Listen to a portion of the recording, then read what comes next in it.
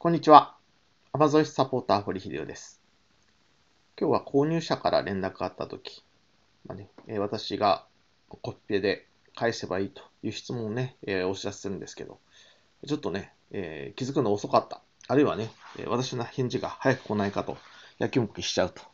あるいはこれから仕事に行くんでね、24時間以上に以内に返せるか心配だと。まあそういった場合、この返事が来たらね、返事が来たとか質問が来たらね、ここの No Response Needed ここをクリックして、えー返信不要という形にしといてください。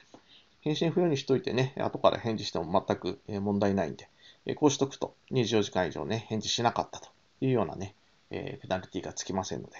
まあ、質問前にこれね、えー私への質問前にこれを手続きするというのをね、習慣づけて質問すると、えーいいかもしれません。